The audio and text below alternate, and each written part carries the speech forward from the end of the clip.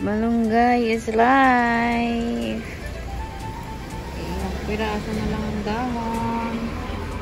Grabe, hindi man lang makalago. Laging na, ano, na-harvest.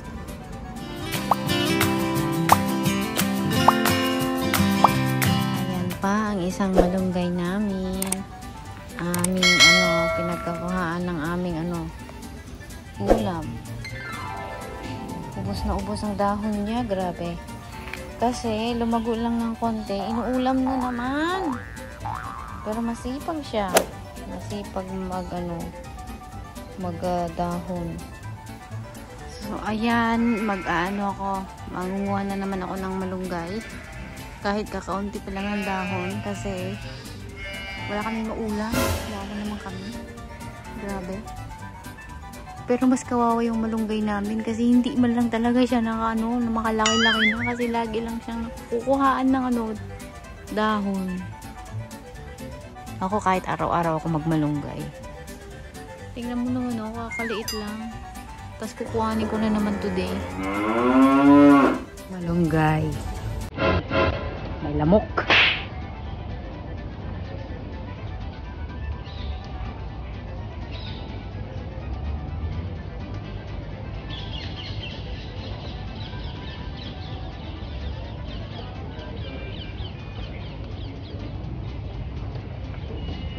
Grabe tong ano, grabe tong malunggay na to.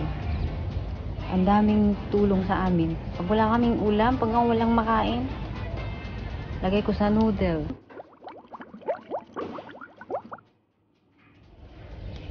Laga ko sausaw sa bagoong.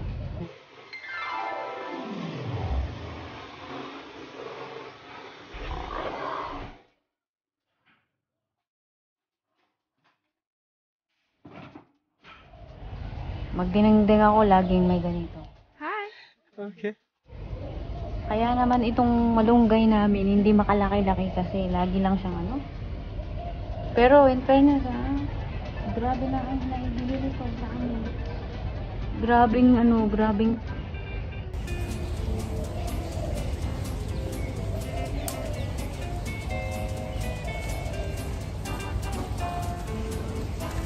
Sana huwag maputol. Oh no!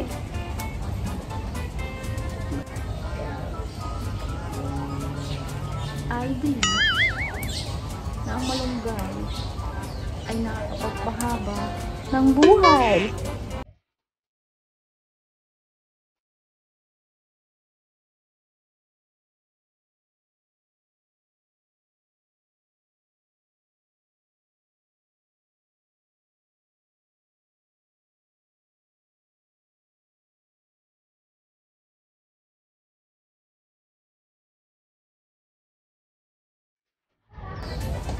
Ubus na ubus, oh. Grabe. Ubus na ubus, oh. Ayun, oh. Ubus na ubus. Hanggang dulo. Grabe, makamalunggay. Pero ang sipag nito, mga dalawang araw lang may ano na naman ulit. May pang noodles na naman.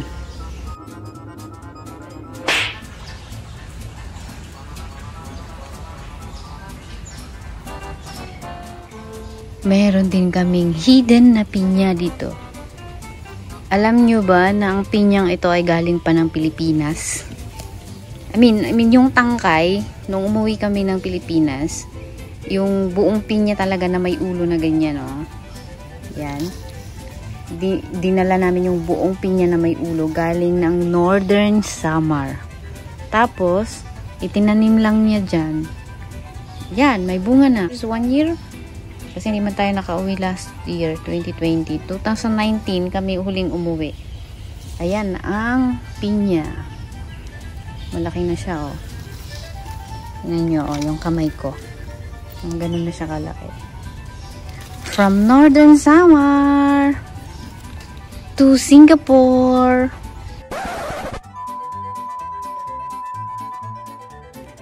Kadalasang ulam namin nung bata pa ako.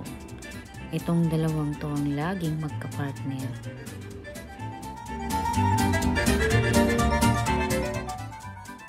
Pero ang magka-partner today ay malunggay at dahong balanghoy. Pagkagataan niya with sardinas. Yan, mga waray na dish. So, waray-waray si baby. Magluluto ng waray-waray na ginataan. Ready na!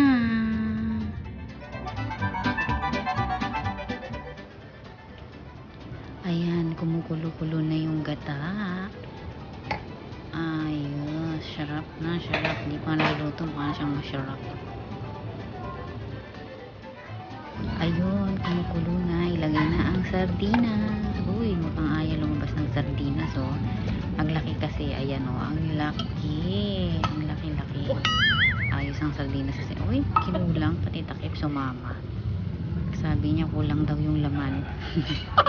Kahit malaki na, kulang pa din. Ayan na, oh. Sarap na, oh. Oh, lagyan ng konting tubig. Pating. Lagyan mo ng pating. Ano? Okay.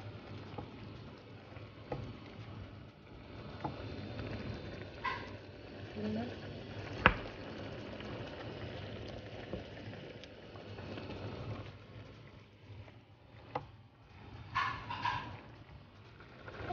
Ayan, pwede nang ilagay ang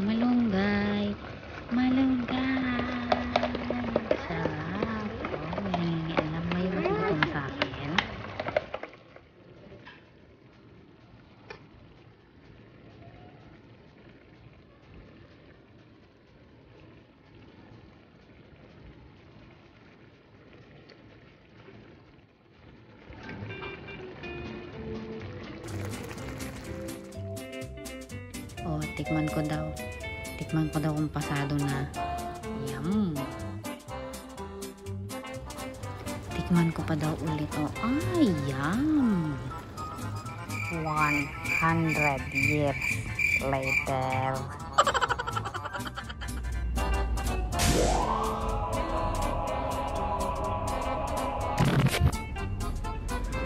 After one week mahigit, malago na naman ang dahon ng malunggay. Yun bang wala kang maulam, tapos pagtingin mo sa may bintana, malago na naman siya. Kinuhaan na to eh, 3 days ago. Kasi inilagay sa ano, steamed chicken. Oh, wala na naman akong maulam guys. Kaya nakita ko na naman ang malunggay mukhang titirahin ko na naman siya wala akong maisahog sa aking noodles Umbre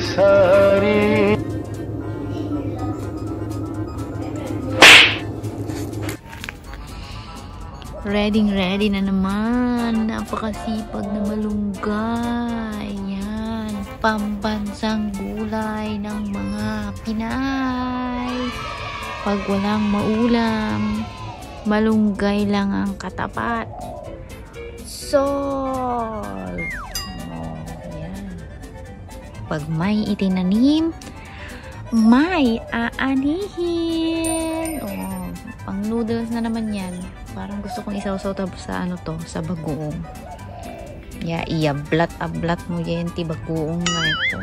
Gimasan. May sa bandihado nga kanin manan. Hello, i-flex ko lang yung aming ano, malunggayan. Malunggayan sa Singapore.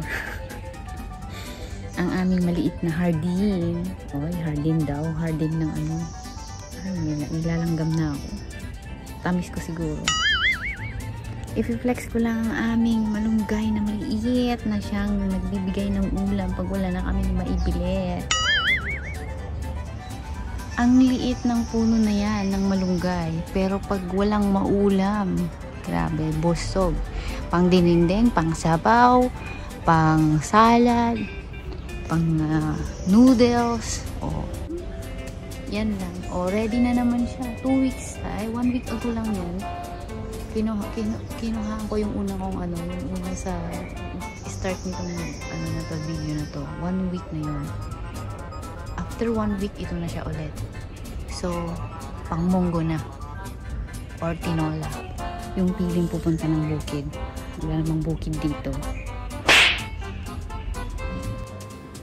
Ayan, oh. Namitas na naman ako ng malunggay. Oh, fresh na fresh from the backyard.